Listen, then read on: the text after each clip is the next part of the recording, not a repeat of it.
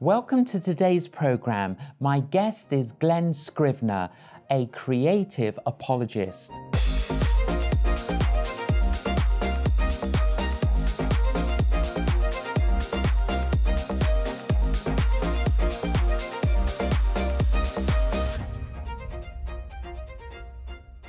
Glen, welcome to Facing the Canon. Thanks so much for having me. I love having a creative evangelist on the program, and uh, I know this will be a fascinating conversation. So, where do you originate from? Uh, Canberra in Australia, which is not the most exciting or rock and roll place in the world. It's where all the politicians are and the civil servants in Australia. But I lived there until I was 14. And then, give or take the odd deportation, I've mainly been in the UK for the last half of my life. Now, is it Anne Forbes?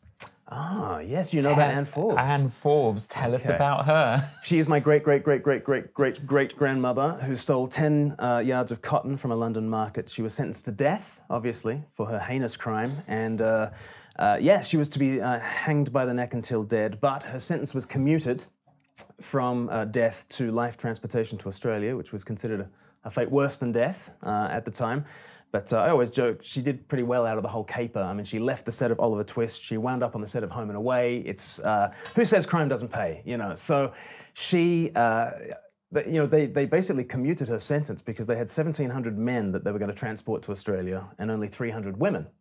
And if you're going to col- colonize a, a country, uh, that's probably not a good ratio. And uh, so a lot of a lot of uh, women started to be transported as well. And then she met and married Thomas Huxley, whose crime was uh, riding his master's horse without his permission. So joyriding, basically. So he got moved to Australia. He, he sailed out on the third fleet, and Forbes was out on the first fleet. And once they'd done their 14 years of hard labour, uh, they were given a plot of land just north of Sydney, and uh, they married, and uh, they became quite prosperous farmers. In fact, there's a, a bridge north of Sydney called Tom Ugly's Bridge, which is named after my ancestor Thomas Huxley. And the story the family tells is that he's called Tom Ugly because the natives couldn't pronounce Huxley, and so they just said Ugly. But there are other theories for, for why he might have been called course. Tom Ugly. Yeah. Wow, so fascinating historical heritage. It's a skeleton in the closet for anyone else, but for Australians, it's a, it's a badge of honour. It's a great story. uh, growing up, Glen, were you a person of faith? Were your family? Yeah, we were a church going home, um, but I, I always sort of think my vision of God growing up was that God was pretty much like electricity. You know, I, I didn't know much about electricity, I didn't know much about God. Electricity is very powerful, God's very powerful. If you get on the right side of God, you can harness his energy, and if you get on the wrong side, zap. That was pretty much my vision of, of God. And so there was something massively lacking, and that was Jesus, you know, the person of Jesus. And it was really only towards the end of university that a friend of mine, he kept inviting me to church, and I went along just to hate the preacher. And um, every Sunday, he, he thought he was so clever. He, he was, you know, giving all these illustrations based on popular culture, and I thought, you, you think you're so down with the kids, and you're not. And I would go back again the following Sunday, and then the So there was following Sunday. something very appealing. Yeah, and there was a praying mother in the background. You know, Praying mother. two decades of a praying mother is hard to fight against. And then my friend said, let's have a look at the Gospels. And I remember thinking, I, I- I got halfway through Luke's Gospel, and I just thought, Jesus, his towering personality, his stooping love, if God is, if God's like Jesus, I'm in. And that was really where it all changed. At a particular moment, at a particular meeting. It's funny that there are a series of different moments. Um, the, the theologian Jonathan Edwards always says we tend to late date our conversions. And his point was that we always want to give ourselves more credit for the spiritual insight we had as unbelievers. So we, we sort of look back to our Christian history and we think, well, I had these thoughts about God, but I wasn't yet born again. I had this spiritual experience of God, but I didn't yet have the Spirit. Um, and I think Jonathan Edwards would say if you had those experiences of God and you felt that way about Jesus, probably the Spirit was at work a little bit earlier than, than you think you were. So I don't know where to, where to date my conversion from. I, I very clearly remember meeting Jesus in Luke's gospel. I very clearly remember it being uh, a, a sense of the immediate presence of Jesus, who was Lord and demanded to be known as Lord. You know, I, I know John Piper sort of talks about Uh, you look at the sun and you know that it's bright. You taste honey, you know that it's sweet. You look at Jesus in the scriptures and you, you just know that he's Lord. I, I distinctly remember reading of him in my room in Oxford. I also distinctly remember a few months later, I was back in Australia and it was the millennium. And uh, we were at Sydney Harbour. I was there with a friend who was uh, going to the church that I'd sort of thrown myself into. And uh, in Sydney Harbour, across the Sydney Harbour Bridge, they had eternity written in this, this font because of the, the famous evangelist. I forget his name, uh, Arthur Stace. Yes. Who, with chalk, he only knew one word. He was illiterate, except for he knew the word eternity, and he would write eternity on the pavements of, of Sydney. They reckon he might have written it a, a million times on the pavements of, of Sydney. And in a very secular country, in a very secular city, they decided to honour Arthur Stace by writing his word across the Sydney Harbour Bridge on the 2000th birthday of Jesus and eternity. And I remember as that lights up with the fireworks, my friend next to me says, Jesus is eternity. And I was like, Jesus is eternity. I was like, I, I, was definitely converted by then. Yes, there was something real. Yeah. And obviously transformed your life yeah. and uh, transformed your journey of life. Yeah, yeah, absolutely. I, I, I think, you know, Jesus said in, in Matthew 12, verse 34, uh, from the overflow of the heart, the mouth speaks. And I think whatever, whatever grips your heart wags your tongue. And that, that was certainly the case for me and Jesus. You became a, a minister, worked in various churches. Mm-hmm. What, how would you describe what you do now? Mm. I'm an evangelist. I, I, lead a ministry called Speak Life, and uh, we do three things really. We, we proclaim Christ in person, we cr- proclaim Christ through media, and we train others to do the same. And, and if people are interested in creative communication of Jesus to the, the to the unbelieving world, then uh, Speak Life is, is a place where we really want to forge evangelists and evangelistic resources together. How would you explain simply, Glen, what is the gospel? Mm. I often talk about uh, in, in terms of light, life, and love. You know, in the beginning there was light, life, and love. There's always been a father loving his son in the joy of the Spirit. And that explains why the, the greatest things in life are light, life, and love. We've come from love, we've been shaped by love. We are intended for love, but then we look at the world, and the world is not like that. It's full of darkness and death and disconnection. And you think, where has that come from? Well, the Bible says we've turned from the light. And if you turn from light, you end up in darkness. If you turn from life, you end up in death. If you turn from love, then you end up in disconnection, all the ways that love goes wrong. So here we are in this pit of death and darkness and disconnection. What does the God of love do? Well, love enters in. And so the God of love in Christ has come down. He's the Son of the Father, full of the Spirit, to join us in the darkness, to take that darkness on himself on the cross, to take that death on himself on the cross, to even take that hellish disconnection from God on himself on that cross. He did it all for love, took it down to the hell that it deserves, and rose up again. And he says, You in the darkness, do you want my light? You in disconnection, do you want my love? You in death, do you want my life? And anyone who turns to Jesus and says yes to him, they get Jesus as their very own Lord. They get His Father as their Father, His Spirit as their Spirit, His future as their future. It's good news. It is absolute good news. Mm. What would you say to any of our viewers and listeners, mm. Glen, who haven't yet made that decision to receive Christ, surrender to Christ as Lord, what would you say to them? It is the absolute best decision in the world, isn't it? So, so John chapter 10, verse 10 says, The thief has come to steal and kill and destroy. He's speaking about Satan.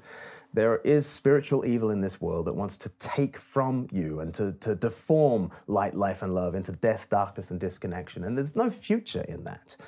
The thief comes to steal, kill, and destroy. I have come that you might have life and have it in all its fullness. And so Jesus, Jesus calls us to come now to experience a life that begins right now. Why would you put it off?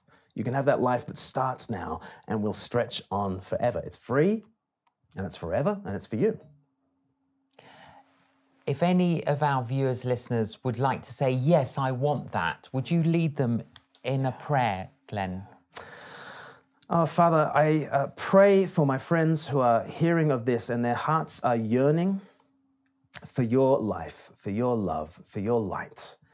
And they've been stirred by your spirit now, and perhaps they're feeling the way they're feeling now because you are at work. You're awakening them to their longing, you're awakening them to Jesus. And I, I pray, Father, would you open their eyes to Jesus? May they see him as brighter than the sun, sweeter than honey. May they see him as Lord. And I pray that my friends would right now open their hearts and say, Jesus, come in. Jesus, I want you. Father, I turn from my darkness. I want your light. I turn from my disconnection. I want your love. I turn from all the things that lead to death. Give me your life. Give me your spirit. Walk with me now through this life and into your eternity. Amen. Amen. If you echoed that prayer that Glen prayed, we pray that you would know Jesus' cleansing, his healing, and his peace and his presence. And can we encourage you to read the Bible? Start with the Gospels uh, Matthew, Mark, Luke, and John in the New Testament about the life and the teaching of Jesus Christ. And can we encourage you to find a local, vibrant church uh, where you can grow in your faith? Glen, I, I do love the way that you creatively endeavor to communicate uh, the gospel. And you, you do that in many different ways hmm. and very visual often. Mm. Uh, tell us some of your projects that you've created in recent years. Mm. Well, I, I, love thinking visually about the gospel. I, th- I, think it's something I naturally gravitate to. So, for instance, I, I think of a, an animation uh, that we've done at Easter time called Cannonball. And uh, it's, it's this idea that we are sinking down into the grave. And what Jesus does is not so much pull us back up to heaven, but join us in the pits and blast a hole through death and out the other side. So I wrote a poem called Cannonball. But as I started writing the poem, it started sounding like a rap. And it's got this line, you know, uh, like a cannonball shot using lover's ammunition on a mission of collision causing catastrophic fission to our carrying coalition with morticians. And I was like, I can't pull that off. I need, I need an actual rapper. So we got Guvna B to come in and uh, Josh Lucas did the music. And we created this full on music video called Cannonball. And we, we've just seen people respond to it so powerfully because it's a visual way of picturing the gospel, not as a rescue rope that lifts us out of this world, but it's the Christ who joins us in this world to pioneer a way through death and out the other side into his future. That's just one of the many ways. We, we have seasonal videos that are at Easter and Christmas and Halloween and all sorts like that. Uh, we have weekly videos where I interview people I'm a, I'm a poor man's J. John, so I, I, try and do a facing the canon type type thing with with other people. Uh, we have a couple of podcasts that we release and lots of books that again you try to do. Yeah. And I've got some of your books okay. here. I I mean there are so many honestly I've enjoyed several of your books, but I'm really intrigued by these these little booklets. Mm. Love Story and Divine Comedy. Yeah. Now, tell us what these are. I love these books. These are these are the kind of books that you can read in an hour. You can read in a single sitting, and you give them to somebody. They're not going to crumple that up in their hands because, first of all, physically you can't crumple them up in your hands. And people, there's still a massive stigma attached to sort of throwing a book away. No one wants to throw a book away, and so even if people don't pick it up and read it immediately, it will sit on a shelf and stare at somebody until they perhaps do pick it up and read it. And so these, these books that can be read in a single sitting are just a way of delivering the gospel. And you can get a good hour's worth of gospel content to somebody in a place where they're sitting, they're imbibing it, they're, they're letting these ideas do, do their work on a, on a person and letting Jesus really confront them. And so, Love Story, for instance, it's the story of how uh, C.S. Lewis got converted. And it was a conversation that he had with J.R.R. Tolkien. Wouldn't you have wanted to have been a, and, oh, a fly on the wall? Would have loved to have been. As Mr. Middle Earth talks to Mr. Narnia. And at that stage, Mr. Narnia, C.S. Lewis was not yet a Christian, and, and Tolkien was. And he basically said, okay, the, the Gospels are the, the myth that really happened, the true love story. And I go through basically that light, life, and love thing that I just uh, sort of ran through with you. But I, I take my time over it and, and uh, talk about the gospel that converted C.S. Lewis, and, and maybe it could convert you.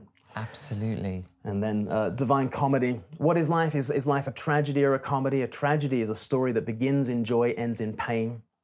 A comedy is a story that begins in pain and ends in joy. So a comedy is a smile, tragedy is a frown. What is life? Well, life without Jesus, you might go up in the world, but you tumble down into death. With Jesus, down in the pit, he joins you and raises you to his life. So with Jesus, you can turn your tragedy into a comedy. Do you know, I do. What I love about these little booklets is that um, they're concise, the message is clear, it's very creative, and it's like seeds, sowing them into people's lives and possibly creating curiosity Oh, yeah. that leads to conversation. You know, we had, we had an email from a woman in Northern Ireland. She, she um, hadn't gone to church for years and years. And she, the only reason she went, was in this church building was she was playing indoor bowls. And she saw a love story on a table. And so she just picked up Love Story and started to read it. And then she emails me out of the blue and she just says, There's a prayer at the end of that book. And you said to email you if you prayed that prayer. I've prayed that prayer. I love Jesus. And she, she emails me about every month and just tells me how much she's enjoying Jesus. And it's just a, a real joy. Well, it is a joy, isn't it? Mm. Helping people in their journey of faith. And that's one of the things that both of us are endeavoring to do in people's lives. 321, what's mm. that about? It's about life according to Jesus. And if you come to Jesus and if he is Lord to you, that means three things. It means he's what God is like.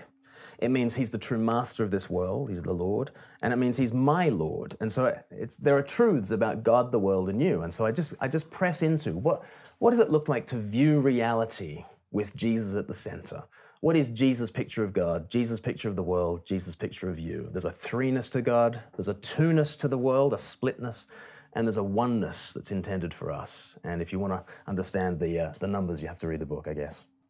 A lot of people's understanding of Christianity, Glen, is a misunderstanding. Absolutely. And so many people have got uh, are misinformed. Yes. and they have misconceptions. So, in many ways, ha- we have to clear those away, don't we? Yes, yeah. Before we present the real Jesus. Right. Yeah. I say that in, in 321. I, I quote from Tom Wright, um, who, after this event that I speak of, you know, became Bishop of Durham, and uh, he, wa- he was a chaplain at uh, Worcester College, Oxford. And uh, he used to have lots of students come up to him and say, you know, don't, don't waste your breath on me, chaplain. I don't even believe in God. And for so many people, that's the end of the conversation, but not for Tom Wright. For Tom Wright, he said, oh, which God is it that you don't believe in? Yes. and they would sort of stare at their shoes, not really understanding. He's, he pressed them, you know, describe to me the God in whom you don't believe. And they would end up describing some kind of distant figure, high on personality, low on power, just kind of a Zeus figure with a thunderbolt ready to hurl. And what does Tom Wright say? I don't believe in that God either. Let me tell you about Jesus. And I think that's, that's the number one misconception. You know, I, I had a misconception that God was like electricity. And I had to have that, that misconception of who God is just completely cleared away and replaced with Jesus. And that's what repentance is. You know, the Greek word repentance literally means a change of mind. We've been viewing things all wrong. And suddenly, in the face of Jesus, we are confronted with something that, oh, if God's like this, I'm in. You know, that's, that's the, the heart of conversion, I'd say. You're, you're very uh, creative, Glen, and confident in sharing your faith about Jesus. Um, many of us in the church lack that confidence. What advice would you give us? I would say go deep with the good news of Jesus. I, th- I think if if it's true, and it is, that Matthew 12, verse 34, from the overflow of the heart, the mouth speaks, if the words are drying up, then there's a heart issue. You know, I need to fill up again on Jesus. And so, in a sense, my first advice is not go and do a whole bunch of evangelism. In, in a sense, my, my first advice is fill up again, be, be re evangelized by Jesus. And so, your advice to somebody who's just prayed that prayer for the first time is really good advice for the Christian too, isn't it? Yes. Open up Matthew, Mark, Luke, and John. That that they are evangelists, you know. Yes. And how do they evangelize us? They present, they placard Jesus before our eyes again and say, look again to him, see his power, see his goodness. And I know in my own life, I, my words dry up when I don't believe either the gospel is good or powerful. I don't think it's good news, so I won't bother sharing it with you. I don't believe it's powerful, because so I don't think it'll make any difference. But if I if I let Jesus re-evangelize me, I see his power, I see his goodness, and the words start to flow. Yeah, absolutely. And and I, I, I think that I'm reminded, was it of John Newton, who wrote Amazing Grace, Yes. it was said of him that if you cut John Newton open, the Bible would have fallen out of him because his blood was bibline. Yes, right. And there is yeah. something about being filled with the gospel, Yes. with the word of God, Yes. with the Yes. presence of Jesus, of course. Yes. And Yeah. there's this overflow. Yes, it's got to be from fullness. I think too much evangelism is out of emptiness. You know, so the, the local church, you know, minister, oh, the pews are a bit empty. We need to do some evangelism. Or the, the coffers are not as full as we'd like them to be. So let's go and do some evangelism. And at that stage, your whole goal is to gain converts. And I think you can be quite manipulative at that stage if that, if that is your motivation. But if it's from fullness, I love what the, the old evangelists Wesley and Whitefield would say back in the 1700s after a hard days of evangelism where, where they would speak to tens of thousands of people in the open air sometimes. Um, the way they would describe their evangelism is in their diaries, they would say, I offered them Christ. Yes. Not, I tried to gain converts. No. Out of a fullness, I've got something I want to share with you.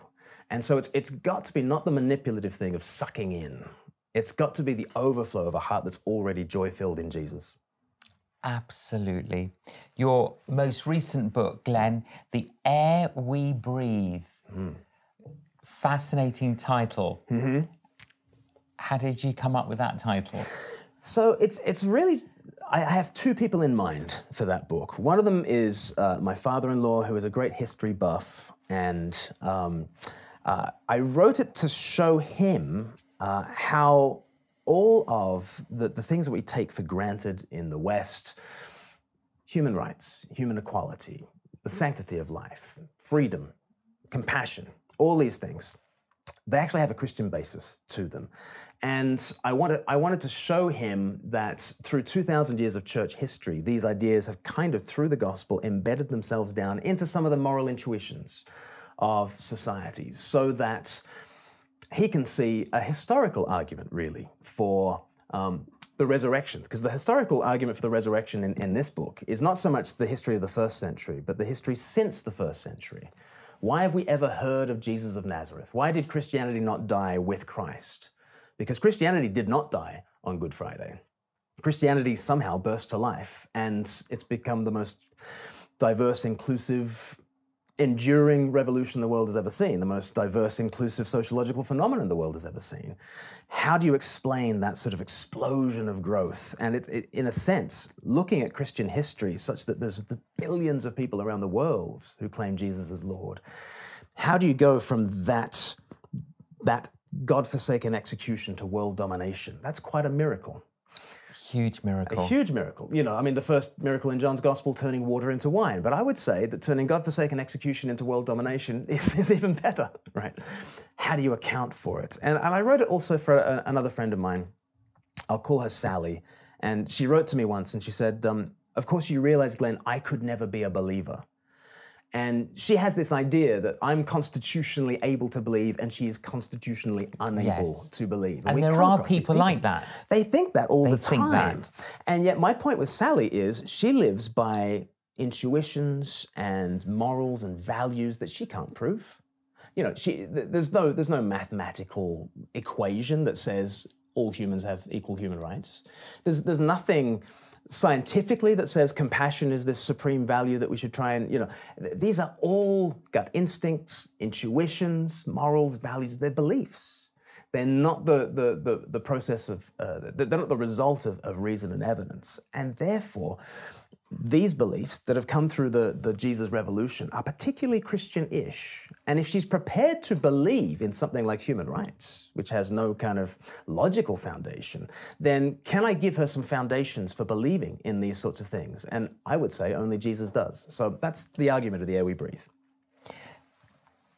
So, obviously, Glen, you're a believer, you're a Christian, hmm. you've experienced Christ in your life. But for people uncertain about faith, for people who they might say, I can't believe, Yeah. what would you say to them? I would say, first of all, be attentive to the things you already do believe, because I don't believe that anyone is an unbeliever in that ultimate sense. you can't really get out of bed without trusting that it's worth it. Um, you can't really navigate life with a whole bunch of strangers without kind of you take it for granted that that the other person who is facing you um, is not going to be a snake in the grass who's out for your harm. You've got you've got to. It's a venture of faith. Everything you do every day is a kind of a venture of faith. When you scroll through your Facebook and and you see, I, I love those videos. Do you ever see them on Facebook where there's like, I, I saw one on Facebook the other day. There was a, a a kid. He was 15 years old with profound autism. He was nonverbal, and he was on a basketball team. And he never played in any of the games. And then in the final game of the season, they brought him on for the last five minutes. And everyone is like willing this kid on. They, they, they, they want this kid to do so well. And even the opposition, you know, Cotton's on at the end, and they're, they're handing him the ball, and he sort of has a shot and it misses, and he has another shot and it misses, and the whole crowd is going, come on, come on. In the end, everybody gets him up onto their shoulders, and he sort of slam dunks this, this ball down, and the roof is absolutely lifted. And you just think, in an ancient society, no one would understand what's going on there no. because they were dominance cultures. And, you know, if someone is unable to score a basket, don't give him the ball, you know. And yet we have this profound belief that a society is judged best that looks after its weakest members. We, we have this profound idea of kindness and compassion and mercy and lifting up those who are in difficulty and, and helping them. And we believe in that so much. It doesn't matter if you're Christian or a Jedi Knight or an atheist or whoever, whoever you are, you get those same you know, goosebumps when you see that compassion. You are already a believer. You already believe in some rather Christian ish things. And I need to take you on a longer journey to show you that it's Jesus himself that provides you the basis for those things. But I don't think it's silly to be called a believer. In fact, I think to believe in those things is like being midair, you know, with no foundation beneath your feet. And what I want to do is kind of give you a foundation for the beliefs that you already have. So come to Jesus. That's, that's the argument I kind of make. You're a very stimulating guy, Glen. Really great. And uh, as I said earlier, um, I love the way that you think and the way that you argue and the way that you communicate. And uh, pray that you'll just continue doing it mm. and um, keep coming up with more creativity to communicate this incredible good news that well, we have. Too. You too, J. Thanks, John. Glen, for joining us. Thank you. I really hope you've enjoyed that conversation with Glen. I hope it's inspired you. I hope it's given you a faith lift. Thank you for joining us on Facing the Canon. Please join us again.